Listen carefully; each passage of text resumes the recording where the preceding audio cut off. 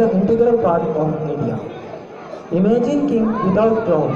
Imagine India without Kashmir. In this song, the students from class 4, the choreographed by Neha madam and Swati madam.